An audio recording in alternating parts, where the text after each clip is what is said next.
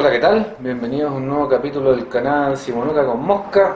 Hoy día voy a darles mis primeras impresiones de esta linterna que me mandaron de China. Es una Bright Night. Hice un unboxing hace poco. Voy a dejar un link aquí en la descripción del video o aquí en la esquina superior, no lo sé. Bueno, comentarles algunas características y mis primeras impresiones de algún uso que le he dado ya y algunas pruebas y alguna comparación breve que voy a hacer con otras linternas para que en un par de semanas más hacer un review completo, ir a terreno de noche, medir la distancia porque esta linterna tiene 1000 lumens y vamos a hacer un review completo. Antes de comenzar, recordar que esta linterna es la Bright Night modelo S18.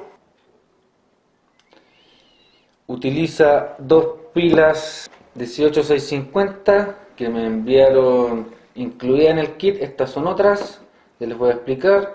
Además, tiene accesorios como una luz roja, una luz verde y un clic táctico en donde me permite, lamentablemente yo no tengo el hardware o la herrería para ponerla en mi rifle, pero permite colocar esta linterna en el rifle cercano a la mira.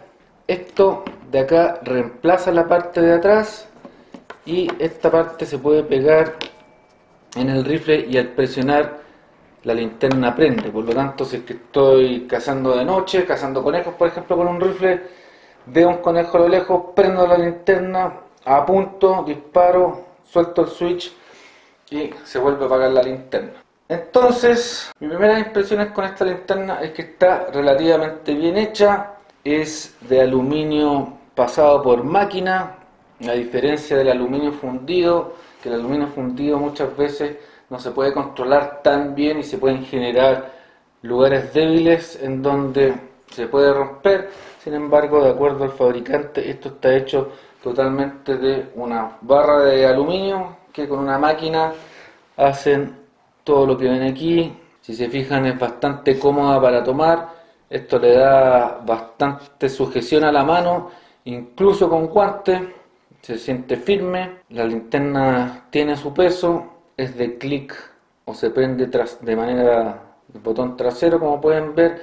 En la página web dice que tiene varios modos, lamentablemente yo no he podido pillar, solamente he detectado un solo modo que es apretando acá, se puede apretar suave y si se suelta se va rápido o hasta que haga un clic y queda prendida y después un clic de nuevo se apaga trae un lanyard y me parece que la versión básica viene solamente con esto. Ahora vamos a hacer una pequeña comparación. Ya les dije que se ve bien construida. Eh, algunas desventajas que veo yo va a depender de cada uno obviamente, pero cambiar el color del LED es un poco engorroso porque tengo que desatornillar la linterna. Se desatornilla en varios lados Lo que sí quiero mostrarles es que en todas partes tiene O-rings de goma. Lo que la hace sumergible hasta, me parece, IP67, que son 2 metros. Lo otro interesante es que esto de acá no es plástico, sino que es vidrio. Y para que se hagan una idea de la profundidad, porque esto también es metálico, es aluminio, no es vidrio por lo tanto, si se cae no se va a romper. Lo único que se podría romper es el vidrio de adelante. Y si, se ven, este foco es bastante profundo, ya lo vamos a ver en algunas imágenes nocturnas que, que tomé, lo que hace que la distancia que puedo lograr, esta linterna no está enfocada para cortas distancias, aunque se puede utilizar en el camping o qué sé yo, pero sí esta profundidad de foco permite que el haz se concentre y logre más distancia en terreno. Antes de cerrarla, notar que aquí también tienen un O-ring. Lo que sí, los míos no venían muy aceitados. Sin embargo, obviamente lo pueden hacer ustedes. Yo voy a hacer un mantenimiento completo en esta linterna. Les voy a mostrar cómo se hace. Lo que les comentaba hace un rato. El tema de cambiar el LED. Hay que desatornillar mucho porque tengo que desatornillar esta parte, ¿cierto? Y cambiarla por esta. No lo voy a hacer ahora, pero sí mostrarles que tiene un O-ring. Cuando haga el review completo lo voy a mostrar donde tiene O-rings, etcétera. Esta parte se cambia. Este O-ring, vuelvo a repetir, hace que la linterna sea IP67, por lo tanto se puede sumergir y se puede seguir utilizando. Si se fijan, una de mis primeras impresiones, todavía no le he hecho, no le he puesto aceite ni nada, es que suena bastante en comparación con otras linternas. Si se fijan, suena como squeaky, quick, quick, quick. Ahora en otras linternas eso no me pasa. Vamos a la parte de atrás, que es el punto que quería tocar. Aquí, si se fijan, también tiene un O-ring.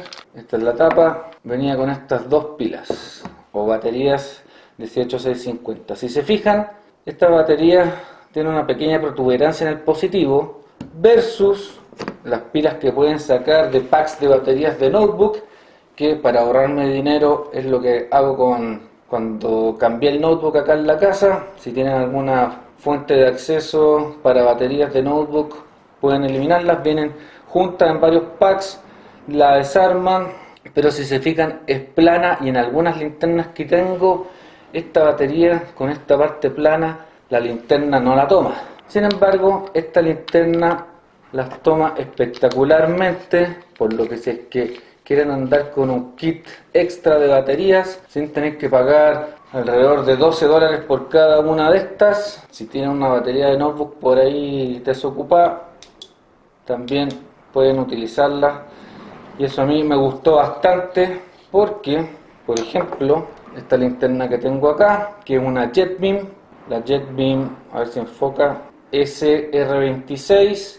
No soporta el tipo de baterías que les acabo de mostrar. Tienen que tener esta protuberancia como lo tienen estas baterías.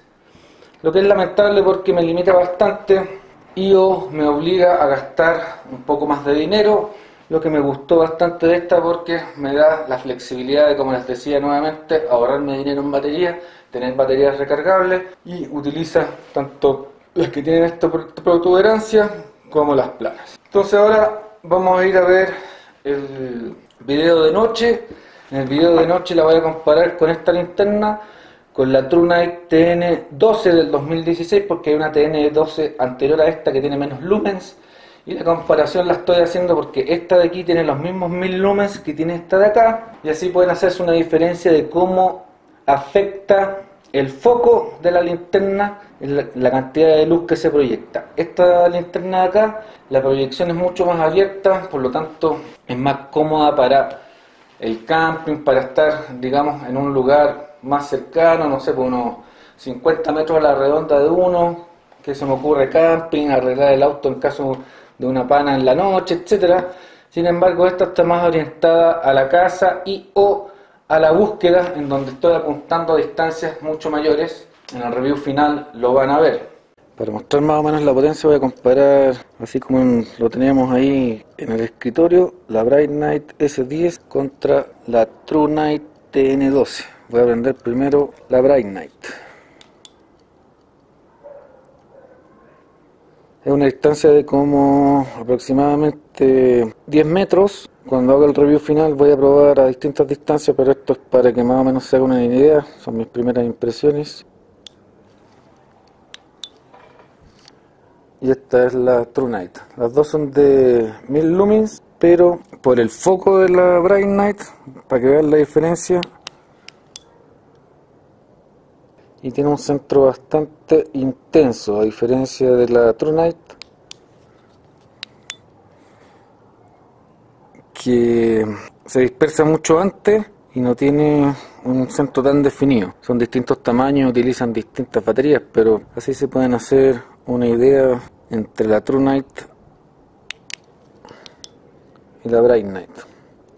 La Bright Night está más pensada para aplicaciones de mayores distancias. Sin embargo, igual se puede usar en camping, que es donde pretendo yo usarla, pero también andarla trayendo en el auto a las personas que les gusta conejear la pueden utilizar mucho mejor porque se enfoca mucho más hacia adelante y si es que la usan de manera táctica con el clip de táctico si la andan trayendo en un rifle obviamente pueden usar ese clip para apuntar conejos y cazar conejos con sus rifles postones o sus rifles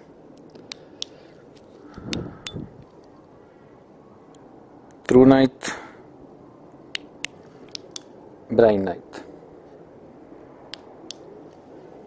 Bien, como pudieron ver en esas imágenes, la comparación es buena. ¿Por qué? Primero, pensando yo cómo presentar este video, la comparación es buena porque usualmente esta marca es más reconocida, es más conocida en YouTube, es más conocida, tiene más reviews y por eso quise hacer la comparación porque desde el punto de vista de lumens, lo que aparece en la página web de Bright Night y lo que ellos indican como potencia de su linterna es real, uno. Dos, lo que quería mostrar es que las características tácticas de esta linterna en el caso de estar haciendo búsquedas de noche o en el caso de que están varados en el vehículo y quieren buscar caminos, obviamente esta linterna, dado que se concentra más hacia adelante, da una mejor capacidad de búsqueda de caminos versus algo como esto, que en realidad está más orientado para nuestro alrededor y no búsqueda de camino o búsqueda, no sé, pues si les gusta cazar,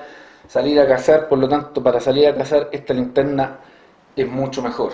Lo otro simpático, todavía no he hecho medidas, lo voy a hacer para el review final, es que a pesar de que estas dos son 1000 lumens, esta utiliza dos baterías 18650 versus esta que utiliza uno, por lo tanto los tiempos de duración del par de baterías son mayores en el caso de esta linterna a full, o sea, los 1000 lumens son 2 horas de acuerdo al sitio web.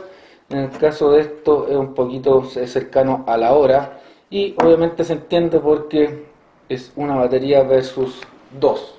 Espero que estas primeras impresiones de esta batería les haya gustado, si les está gustando cómo estoy haciendo las cosas o quieren ver algo en particular cuando haga el review final por favor háganmelo saber aquí en los comentarios del video, así puedo hacer algo que se adapte. Si tienen algunas preguntas que hacer sobre esta linterna.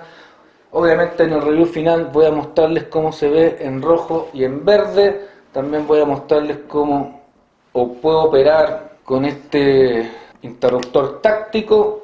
Y obviamente hacer comparaciones de noche, voy a medir distancias desde los 50 metros hasta los 300 metros para que se hagan una idea de la diferencia entre tener una así y una así, siendo que las dos son de 1000 lumens. Nuevamente agradecer a todos ustedes por estar suscritos al canal, si aún no están suscritos suscríbanse, dejen sus comentarios y como siempre será entonces hasta una próxima oportunidad.